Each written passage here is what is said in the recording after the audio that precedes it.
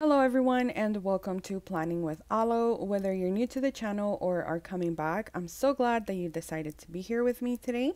So as you can see, I have my coffee all ready to go here and that is because today I am showing you how it is that I plan out my day in the Rhoro Designs Daily Grid inserts. I've been using these inserts for a while now.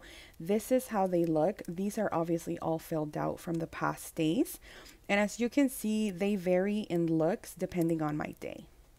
So to get started, I'm basically going to show you what it is that I use in order to accomplish my daily plan, which is my planner. My favorite pen and these Poi & Hun weekly gridded, I'm sorry, marbled sticky notes that I love. And you'll see what I use these for in just a minute. These are the inserts themselves from Rhoro Designs. This is how they look empty. I love the layout of these. It has a schedule on the left side and then a list format on the right side. And then any stickers that I'll use, I'll probably be pulling out of my um, pouch here. So let's begin.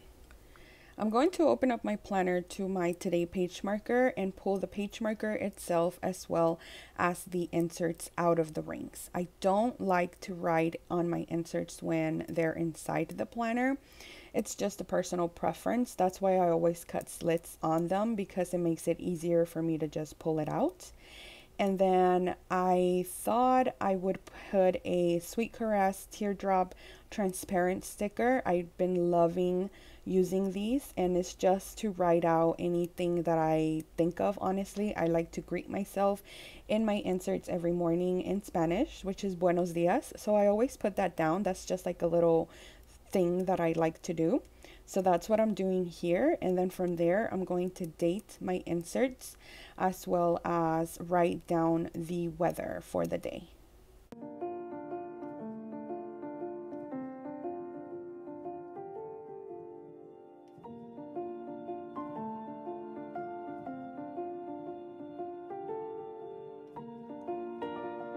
Here you'll see me reaching for my Sharpie fine tip pen to write on the sticker so that I can prevent any smearing. And then I'm also going to go ahead and pick up something that has a straight edge just to go ahead and mark a line down the schedule because we are not going anywhere at the moment. Um, since we are in quarantine, we're just kind of chilling at home and finding things to do here. So yeah, that's what I did there hashtag stay home, right? So shortly after this, I'm going to adjust the camera to a better angle so that you guys are sort of able to see what it is that I'm writing down. Um, I always try and keep priorities and things like coffee up at the top of the page because that's usually what I start my day with. So, for example, today was payday, and there's a couple of things that I need to do along getting paid, if that makes sense. So, I go ahead and use little arrow symbols to mark what it is that I need to do, like check my bank account, make any transfers for bills or something like that. And um, in this case, I needed to buy a money order today. So that's what you see me writing here. So just wanted to point that out. And because I am planning the day of, which is Friday, April the 3rd, when I'm filming this video for you guys, um, I do usually plan my day ahead. Um, so I'll do it the night before usually. But um, like I was saying, I wanted to practice some time blocking today so that I could focus on my filming and editing, which is what I'm doing now. So I went ahead and drew like a brackets box in the middle of the page to space out and that way anytime I would look down at my page because I do keep my planner open at my desk where I work I could just kind of visualize that I need to you know focus this particular time to the big task of the day which was filming and editing You'll also see me putting down the page flag that I recently created for time block. This is just like a repetition task card that I like to use from time to time for moments like this. And then underneath the page flag, I am just writing down the to-dos that go along the time blocking for today.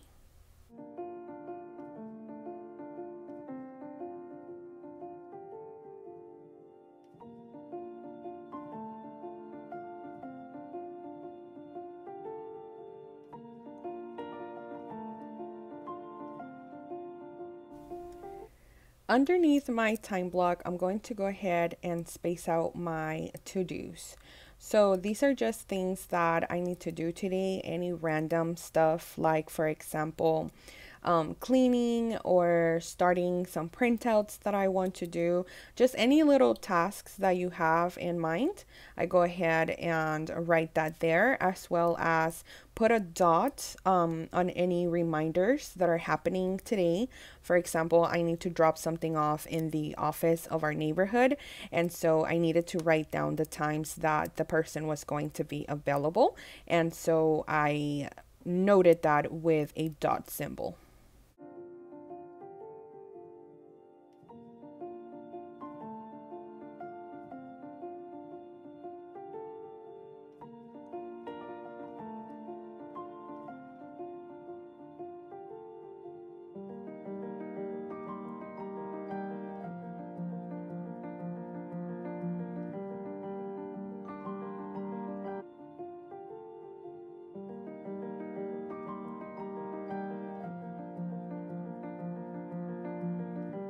I also sometimes like to use the bottom gray portion of the insert to write out my meals of the day.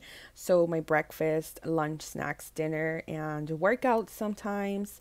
Um, and then at the very bottom of the page, I left it for some notes from a phone call that I had. So that's what you see me doing here. I'm going to bring you guys down just a little bit for a better view and then in a moment you'll see me pulling out my Mildliner to highlight the bottom part of the left side schedule. This is me marking down that I'm having really bad allergies. So the pollen in my state is crazy and it has me feeling all kinds of ways. So I like to notate things like that from time to time. And then we're going to move on to me flipping onto my monthly section in my planner, which I do have a monthly plan with me as my previous um, YouTube video if you want to check that out and see how it is that I filled the monthly insert that you guys are seeing me pull away now. This is me just checking any notes for my weekly overview, which I use a sticky note for. And this is the Poi and Hun one that I mentioned at the beginning of the video. And let's go ahead and fill it out. This one is just used for an overview since I don't plan on any weekly inserts anymore. I'm more of a daily girl now. That can change anytime anywhere but right now this is the method that I like. So I'll also bring you guys closer so you guys can see what it is that I'm writing down on these sticky notes. Anything like holidays main appointments or main tasks go on the weekly overview. And then on the side to-do list I put things that don't pertain to a certain day but that needs to get done the week of or a reminder of what's going on during the week. And then since I like to use my stationery items, whether it's an insert or a sticky note for various things and just kind of figure out a functionality for it.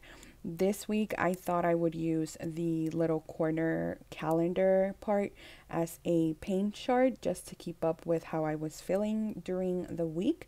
Sometimes you'll see me use it as a calendar and then others you won't. So here's a closer view at how everything is looking like.